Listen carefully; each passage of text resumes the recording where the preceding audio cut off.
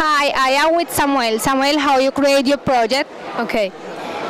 Uh, my project has been created uh, with the Institute of Astrobiology of Colombia and with the Excalibur organization. Uh, my project consists in how to build with base in models, in mental models, models of R and F computer, the functional prototype of a research station for a space for a spacecraft with capacity to generate in, in their inter, in their interior a microclimate who simulates uh, the conditions the conditions climatic atmospherics and gravitationals who require the HNX for their incubation and hatch in the lunar surface.